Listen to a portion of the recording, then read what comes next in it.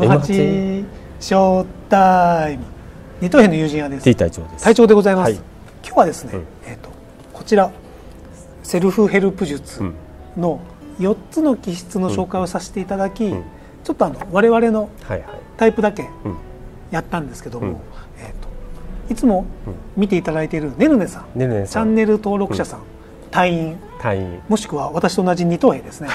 二等兵スタートからスタートするとなると。最初は。最初二等兵ですからね。二等兵、うん。同じ二等兵からですね。るねさんから、えー、と私は ENFP でした。と、うんうん。なんで基本は体調と一緒、うん。NFP の部分が体調と一緒だから、うん。体調が言ってることは分かる。うん。うんよくわかるよくわかるみたいなことをコメントいただき、そっかと体調が外交的になると、うん。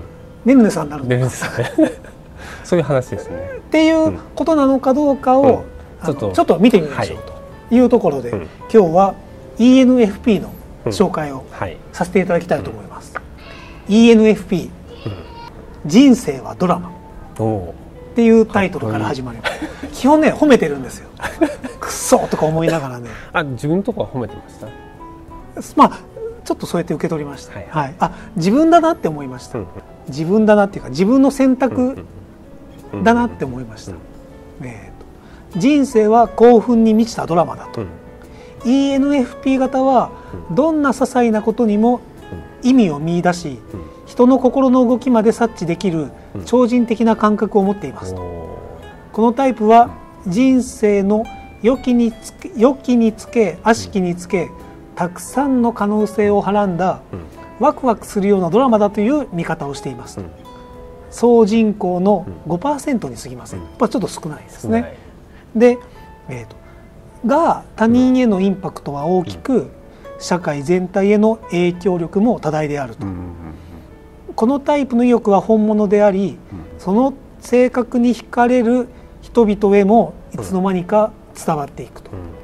ただ当の本人は自分の努力はいつも足りない。私は努力が足りないって思って頑張りすぎたりうんなんか自意識過剰で悩んだりすることがありますと。うんで複雑な感情を持っていますよと。うん。強烈な感情を経験することは重要だと思うがうん。実際にそういう経験をすると自分が自分でないような居心地の悪さを感じますうん。で一生懸命に精神を統一しようとするけども、なかなかその感情と折り合いをつけることができないと思ってしまう、うん。これは P の部分ですかね、P の部分かもしれない。えー、と認知うん。の部分で、うん。えー、と決めない。まあこの ENFP はそういう感じはいですね。で正しい観察力と思い込み、うん。ENFP 型は周囲の状況を常に細かく観察しておりうん。少しでも変わったことは見逃したりしないと。うん。鋭い観察眼と研ぎ澄まされた集中力でうん。他人に起こっていることを見通す能力を持っていると。うん。でだから時には人の言動にそれ以上の意味を、うん。見出してまあ、私的に言うと勝手に見出して 真の動機を解釈しようとすることもあると、しなくていいって話です。人のことや それも人のことですよね。で、えー、とこのような時には否定的な解釈になりがちでうん。それもあまり正しくないことが多いうんちょっとこれごめんなさい。ねるねさんの話じゃないですけども、うん。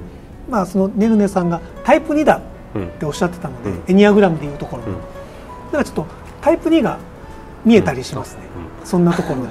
ですると ENFP 型は、えっと自分が人間関係に、えっと不必要なうん。不必要な日々を入れてしまったことを知りますと。うん。つまり優れた認知力を持ちながらも自らを辛い立場に追い込むような判断上の思い込みをします。と。はい。で自分の思い込みと一致する情報を重視する傾向があるからで正しく認知するしているにもかかわらず、うん。結論が間違ってしまう、うん。なんて書かれています。はい。で旺盛な自立心、うん。で敏感で繊細な神経の持ち主なので、えー、と肩こり。うん。肩こりありませんかと。うん。で常に緊急事態に対して、心の準備ができている。うん。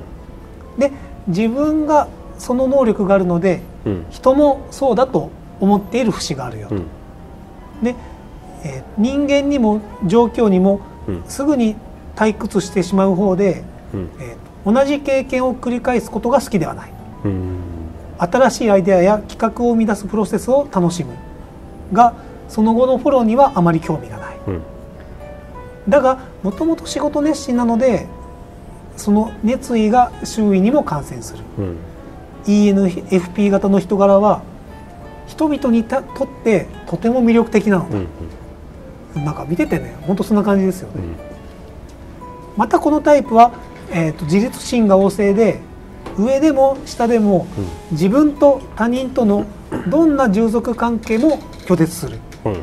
人から本人は他人から頼られたり他人をコントロールすることを極度に嫌うのにそのカリスマ性に惹かれて、えー支持を求めてくる人が後を絶たないと。うんうん。で ENFP 型の知恵やインスピレーション、うん。勇気指導力などをうん。求めるたくさんの人々に囲まれているがうん。それが主に主にと感じうている。ん。で、えーとそも根本的には楽天家うん。で人間関係や物事が思った通りにいかないと不思議に思ってしまう。うん。運命や人人間の性善説うん。には強い確信を持って。うん。基本性善説。うん。悪い人はいない。うん。と思ってませんかと。僕は悪い人ですよと。で、えーと独創性と顔の広さ。うん。職業の選択は、まあ、範囲が広くてうんいろんな分野で成功しますよと。うん。仕事熱心だし息も高い。うん。独創的発想力も豊か。うん。で関心があることは何でもやるタイプであると。うん。なんか羨ましいですよ。いいですね。ねえ。で問題解決能力にも優れ特に人間関係のトラブルに手腕を発揮する。うん。人当たりがよく同僚とも打ち解けやすいので人からもよく好かれる。うんまとめまとめるのもうまい。うん。で、えー新しい方法を発明するのが好き。で取り組んだ仕事は自分専用のプロジェクトに改造してしまう。うん。なので、まあ、そういった一面があるのか人が発案したアイデアや企画をうん。うん。発展するのは、発展させるのはうん。不本意だ。不本意なんですね。だって自分のアイデアがあるんだもん、うんうんっていうことなのかもしれません、でまあひとたび仕事が始まって、うん。決まりきったことになっていくと、うん。興味をなくす。うん。それはわかります。なんででもこの辺はなんかあのエニアグラムでいうところの、うん。なんかタイプ7とかうん。の匂い。やっぱ楽天家ってそうなんですかね。うん。エニアグラムでいうところの楽天家とされる人、あエニアグラムの話をするなですね。この話の時に、うん。うん。すいません。で組織に縛られない自由の仕事が向いてます、うん。えー営業広告業。映画脚脚本家などうん。さまざまな分野でえー活躍しますと。でただその規則や、うん。えー規制マニュアルに従うとか、うん。その束縛されて働くのは得意ではない。うんうん時には組織内のルールやポリシーを一人一人の意向で変えようとする。っうんうん。ていうところがありませんか、うん。でまた、えーっとそんな人だからか、うん。人に対して我慢できなくなる時があるうんうん。とでチャーミングで気まぐれな家庭人。うん。慣習にとらわれないパートナー。うん。で親としての ENFP 型は子供に対して非常に献身的ではあるが友達のように振る舞ったり厳格の権威を見せるというような、まあ、あの気まぐれなところがあるよと、だが自分の意見を押し付けたりせずうんそれに従うのは相手次第だよって。うんうんあとなんかある子供にとってはうん一貫性がない親。って見られちゃうかも。あどっち？ってあどっちかは自分で選べですよね。でも時には怒ったりするじゃん。うん。怒るのは悪いこととかじゃないですか。僕はでもその感覚はあそっか。しまった。よくわかる。あそっか。同じ感覚でしたね。すいませんなるほど、こういうことが起きますね。で ENFP 型は家庭を仕切るタイプであり、うん。家庭の中のトラブルは禁物と感じていると、うん。なのでその男女どちらであってもこのタイプが家計を支えている家庭は、うん。贅沢な調度品があるかと思えば生活必需品を切らしていたりっていうアンバランスな「ああ」なんですね。心当たりが僕に僕にはこのタイプじゃないですけどそうですそうですね。で常に将来のための蓄えに関心を傾けているとも言えずうん生命保険や貯金うんパートナーや子どもたちのための現金を用意しておくような気遣いもあまりない。うんうんうんうんうんって。で好奇心に満ちた外交型。うん ENFP 型の特徴は、えっと、新しいものへの好奇心が強く、うん可能性を信じずば抜けた直感力を持っていること。うん。また人と一緒に興奮したり楽しんだりするなど人付き合いも得意、うんなのでその外に向かって開かれた姿勢の中で新しいものやドラマチックなものを受け入れる精神が発達している、なんて書かれています、だからどうしろっていうことではなくあなたはそうですねっていうの本。説明。の説明、まあねるねさんが知りたいだろうと、勝手に推察してうんうん。取っております、はい。なんで ENFP の紹介を今回ははい。させていただきました、どうですか？羨ましい、えっとですね、うん。この ENFP でいうと私は N の部分は違う。うん。あと P の部分も違う、うん。N というのは直感。うん。僕はどちらかというと,、えーと実際的なものうん。が好きで、うん。P と J 認知と判断の部分も違って僕はすぐに決めたい。うんうん決めた方が安心する。うん。うん。可能性を残しておきたい、っていうところが 相違点はうん。多々ある。うん。のでやっぱりその楽観的な部分は私にはないですし、うん。えー、と性善説かと聞かれると、うんうん。そうであってほしいなとは思いますがうん。決してそうではないと思っている。うん。ちょっと疑ってかかっている。うん僕もだから僕は疑わないですから。そうだからちょっと体調と話をしていてギョッとすることはよくあります、うん。あの鍵の概念とか。うん。持ち物の概念で、うん。はい、っ基本疑わない。